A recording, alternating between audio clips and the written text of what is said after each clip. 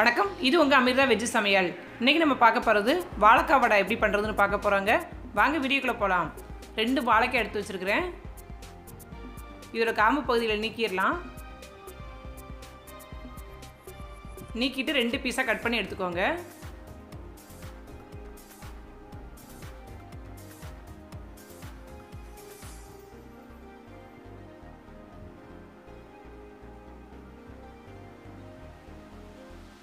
இப்போ இதை நம்ம குக்கரில் வேக வச்சிடலாம் வாழைக்காவை.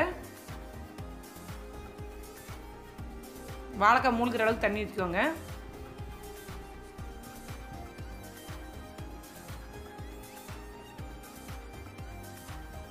இப்போ ஒரு ரெண்டு விசில் வரைக்கும் வச்சிடலாம். இப்போ ஓப்பன் பண்ணி பார்க்கலாம். வாழைக்காய் நல்லா வெந்துருச்சு. நான் தோல்லாம் கலண்டு வந்துருச்சு அது நல்லா தெரியுது பார்க்க. இப்போ தண்ணி வடிகட்டிடலாம். வடிகட்டியாச்சு. இப்போ தோலை உரிச்சிடலாம்.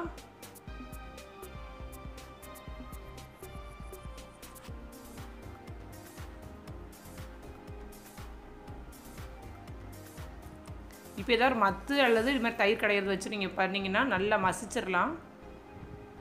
ஒன்று போல் பெரிய பெரிய பீஸ் எதுவும் இல்லாத அளவுக்கு.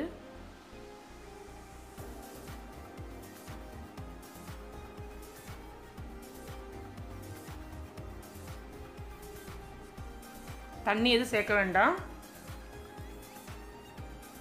நல்லா மசிச்சாச்சு.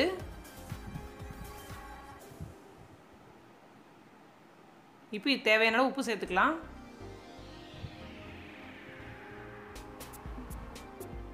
அப்புறம் வெங்காயம் கொஞ்சம் கட் பண்ணி எடுத்து வச்சுருக்கேன் அதை சேர்த்துக்கலாம்.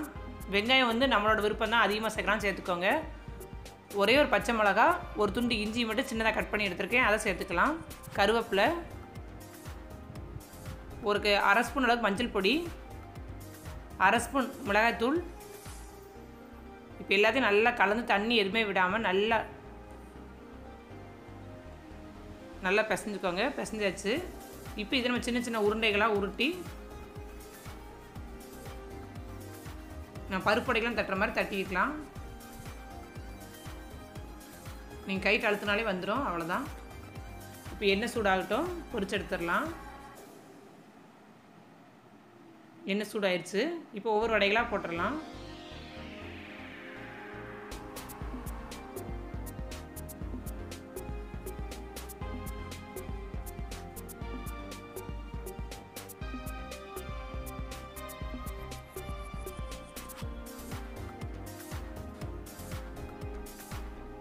ரெண்டு பக்கம் திருப்பி விட்டுக்கோங்க.